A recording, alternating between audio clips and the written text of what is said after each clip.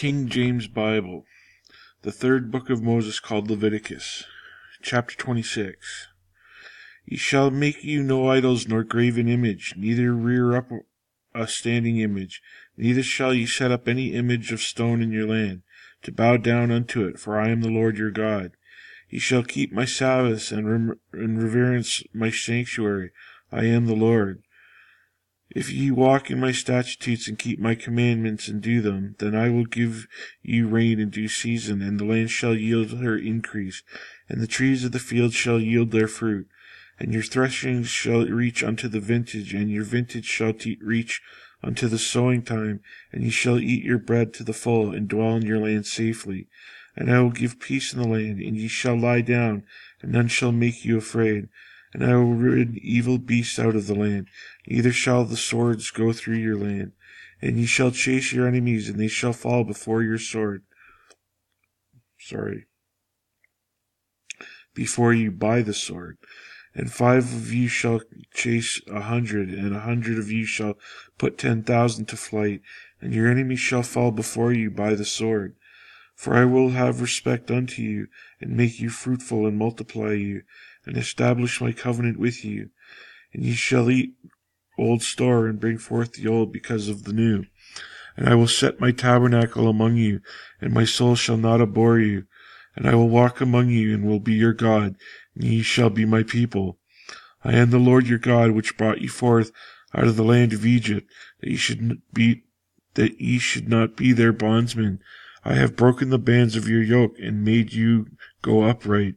But if ye will not hearken unto me, and will not do all these commandments, and if ye shall despise my statutes, or if your soul abhor my judgments, so that ye will not do all of my commandments, but ye that break my covenant, but that ye break my covenant, I also will do this unto you, and I will appoint over you terror, consumption, and burning ague, and that shall consume the eyes, and cause sorrow of heart, and ye shall sow your seed in vain, for your enemies shall eat it. And I will set my face against you, and ye shall be slain before your enemies, that they hate you.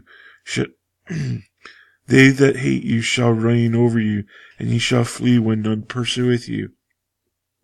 And if ye will not for all not yet for all this hearken unto me, then I will punish you seven times more for the for your sins, and I will break the pride of your power, and I will make your heaven as iron, and your earth as brass, and your strength shall be spent in vain, for your land shall not yield her increase, neither shall the trees of the land yield their fruit.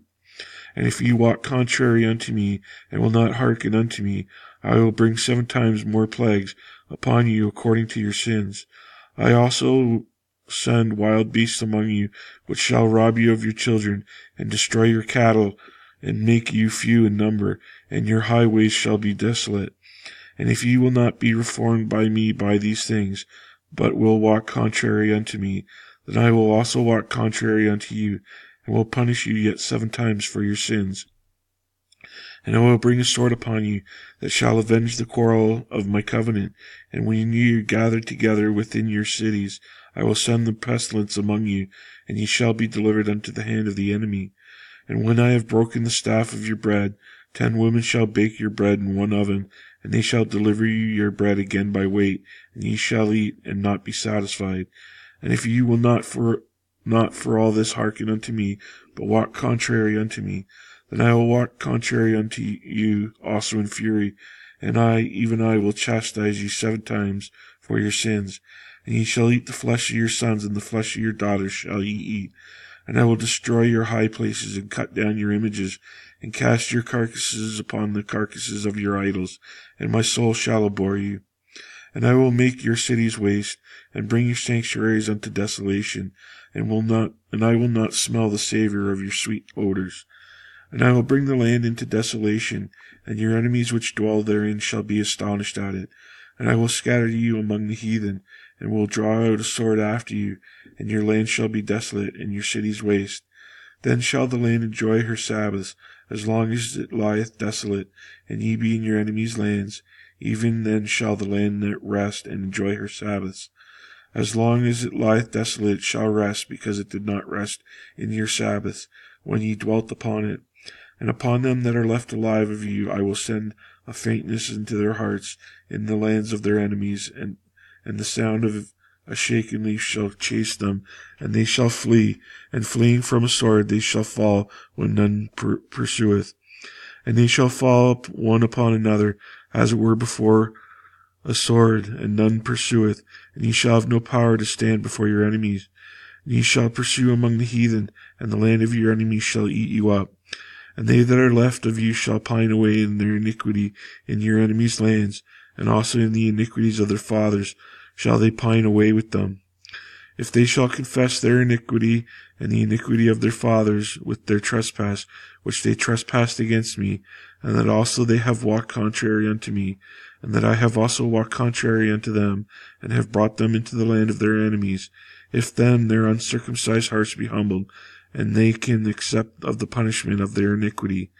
Then will I remember my covenant with Jacob, and all my covenant with Isaac, and also my cousin covenant with Abraham will I remember, and I will rem- remember the land. The land also should be left of them, and shall enjoy her Sabbaths, while she lieth desolate without them. And they shall accept of the punishment of their iniquity, because even because they despised my judgments, and because their soul abhorred my statutes. And yet for all that, when they be in the land of their enemies, I will not cast them away, neither will I abhor them, to destroy them utterly, and to break my covenant with them, for I am the Lord their God. But I will for their sakes remember the covenant of their ancestors, whom I brought forth out of the land of Egypt, in the sight of the heathen, that I might be their God, I am the Lord. These are the statutes and the judgments and laws which the Lord made between him and the children of Israel in Mount Sinai by the hand of Moses. Chapter 27 And the Lord spake unto Moses, saying, Speak unto the children of Israel, and say unto them, When a man shall make a singular vow, the person shall be for the Lord by the estimation. And thy estimation shall be of the male from twenty years old even unto sixty years old. Even thy estimation shall be fifty shekels of silver, after the shekel of the sanctuary. And if it be a female, then thy estimation shall be thirty shekels. And if it be from five years old even unto twenty years old, then thy estimation shall be of the male twenty shekels, and of the female ten shekels. And if it be from a month old even unto five years old, then thy estimation shall be of the male five shekels of silver, and of the female thy estimation shall be three shekels of silver. And if it be from sixty years old and above, if it be a male, then thy estimation shall be fifteen shekels, and for the female ten shekels. But if he, he be poorer than thy estimation, then he shall present himself before the priest, and the priest shall value him. According to his ability that vowed shall the priest value him.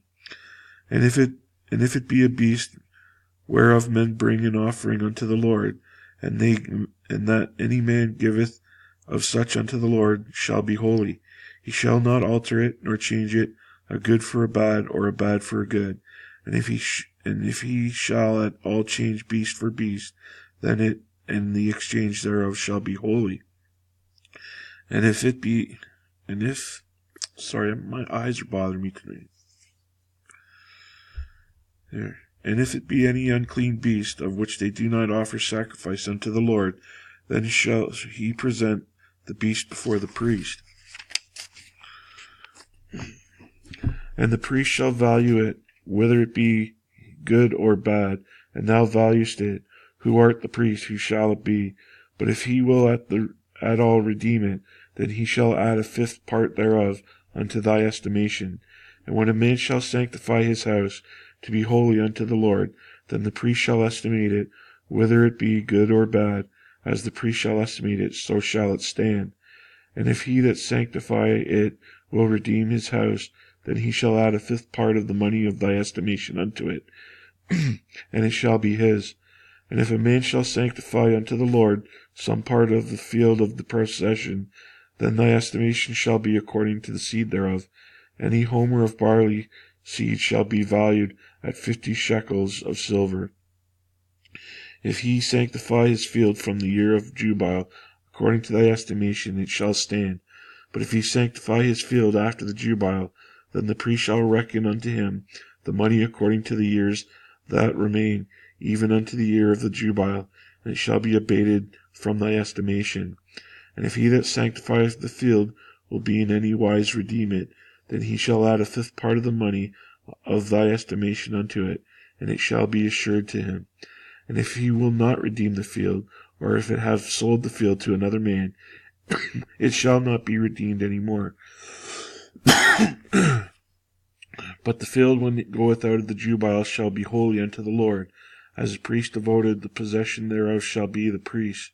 And if a man sanctify unto the Lord a field which he hath bought, which is not of the fields or of his possession, then the priest shall reckon unto him the wrath of the wrath of thy estimation, even unto the year of Jubile, and shall give thine estimation in that day as a holy thing unto the Lord.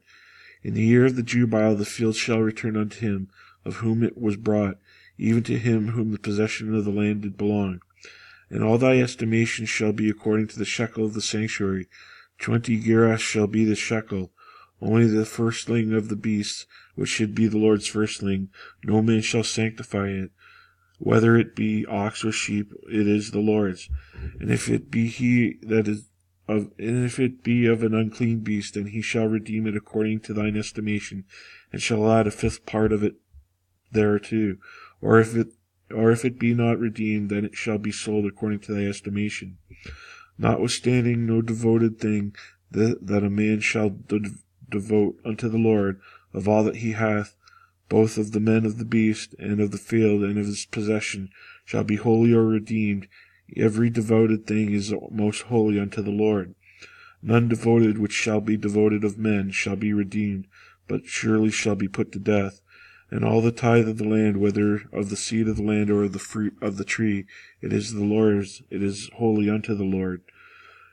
And if a man will at all redeem aught of his tithes, he shall add thereto a fifth part thereof. And concerning the tithe of the herd or of the flock, even of whatsoever passeth under the rod, a tenth shall be holy unto the Lord. He shall not search whether it be good or bad, neither shall he change it. And if he change it at all, then both it and the change thereof shall be holy, it shall not be redeemed. These are the commandments which the Lord commanded Moses of the, for the children of Israel in Mount Sinai.